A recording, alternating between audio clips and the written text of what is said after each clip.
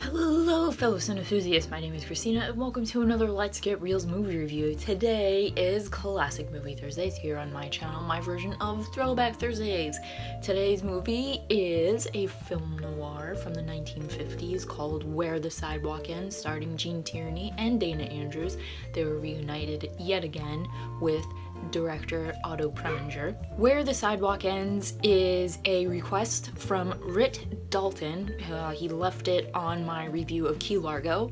So Ritt, thank you very much for requesting this film because I own it and I haven't seen it in so long so it was really good to kind of like get a refresher, see this again and I have to say a huge thank you because I gained a new appreciation for this movie. Not so much the story, but the way it was filmed.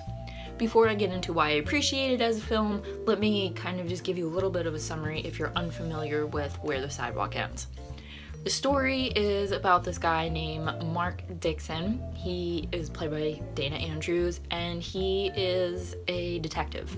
But he's a detective that has a bit of a temper. And he just wants to clean up all the thugs. He doesn't like any of the gangsters. He's got it really hard for this guy, Scalise, who's like a big time mobster and used to know his father. Uh, Mark's father used to be a gangster Mark doesn't want to end up like his father. So he's just trying to clean up everything and he gets into trouble. He gets downgraded and, you know, his superiors are like, what the hell, what are you doing? You have to stop beating the crap out of these people. You know, you're gonna get in trouble. You have a lot of complaints against you. Stop beating up these people. Mark gets called to a scene where a guy had been killed by this other guy. Uh, his last name is Taylor. I forget his first name. And uh, they the guy just ran out, but he was at a party at Scalise's place. So of course Mark is like, you did it, Scalise, you did it, and he was like pointing fingers. And then they found out that it was actually this guy Taylor who was out running from the police and from the situation. Backtrack Taylor had gotten mad at this guy who he had killed because his uh, ex-wife, Morgan Taylor, played by Gene Tierney, was there and he got mad at Morgan too because Morgan wanted to leave. She had work in the morning and she's like, I can't stay. I can't do this. And he had brought um, the guy that he had killed in to, you know, like lose all his money and everything for Scalise, but the guy wound up winning. Anyway, Taylor wound up stabbing him over an argument and all this stuff, and so now Taylor is on the run from the cops. And they eventually catch up to him, or should I say Mark catches up to him, because he's a smart guy, Mark. But his temper, of course, gets in the way, and he winds up accidentally killing Taylor um, when Taylor hits his head on the floor. Uh, Taylor was in the um, in the Marines. He's a decorated soldier. Um, this was, you know, during World War II. He was a very decorated soldier, and he has a uh, plate in his head, and uh, he hits his head uh, where his plate is, and it kills him. So Mark tries to cover up and he tries to like get it to be pinned on Scalise and to try and make it like he's not there. And then, of course, he starts uh, falling in love with uh, Morgan Taylor, who is Taylor's ex-wife, and uh, you know, of course, they gotta they gotta fall in love. The two the two leads gotta fall in love somehow. It's a little cheesy that part.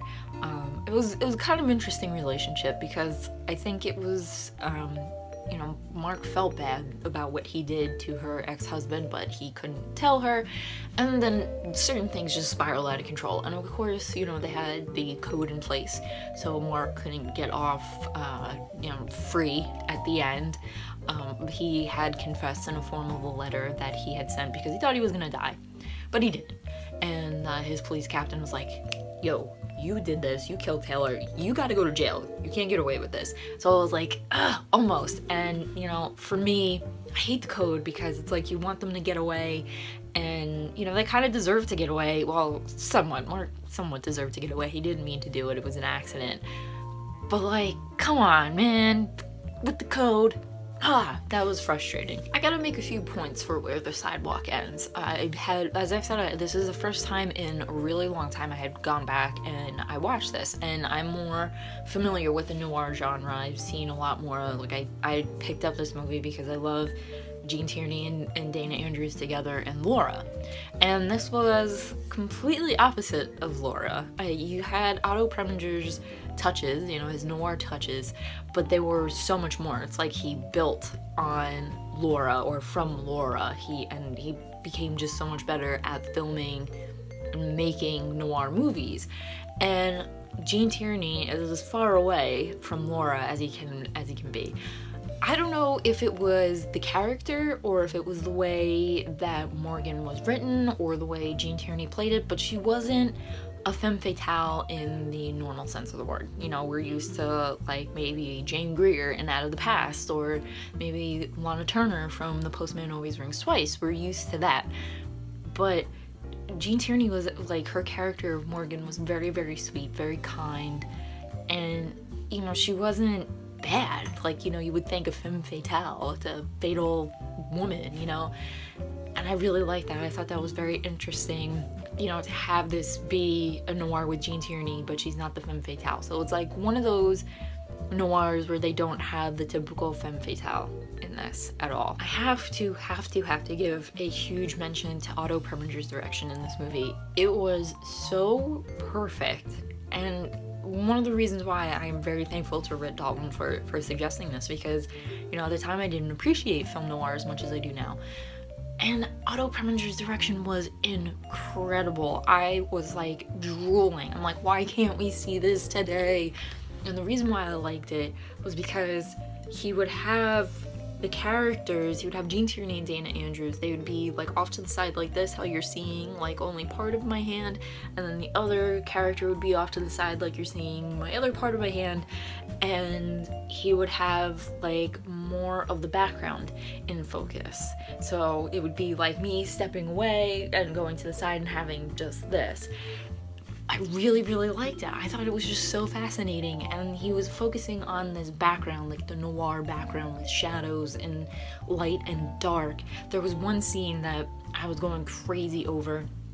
Um, Mark had come over late at night to Morgan's place.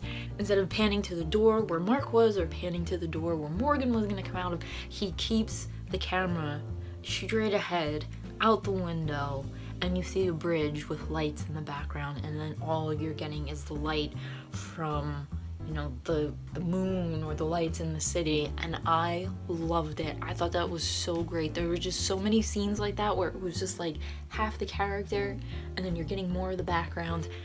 I don't know if I explained that right at all, but I just thought it was such a cool touch because it wasn't really his his direction wasn't focusing on the faces of the two main characters, which was like, whoa, you know, like you you don't do that in, in old Hollywood. Like that's that's unheard of even for today. You're always focused on the actor's face. But this was just, oh my god, it was beautiful and it was in black and white and I think that really added to it definitely loved it. Any any of the scenes that he shot where um, Morgan and Mark were supposed to be like close together and he got more of the side of their face or what have you, more of the background like perfection. And I really would encourage everybody just to go watch Where the Sidewalk Ends if you're like a big film buff, if you're really into film technique, because I think this would be like a great thing to have on your mind when you're filming. Maybe, you know, if you need some inspiration. So that was my review slash ramble of Where the Sidewalk Ends, a film noir from the 1950s. And if you guys are like Ritt Dalton and you have any requests, please leave them down in the comments below. And if I pick your movie and I watch it and I review it, I will give you a shout out like I'm doing to Ritt. Thank you, Rich, so much for suggesting Where the Sidewalk Ends. If you guys have seen Where the Sidewalk Ends, please leave your comments there.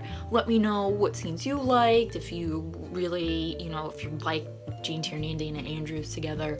I have another one of their films. I will be happy to review that for you because that is another movie I have not seen in a long time. It's called Whirlpool. Whatever you guys would like to see, they don't have to necessarily be old movies, but if you have any suggestions, old movies, uh, new movies, anything on Netflix, whatever you got, leave them in the comments.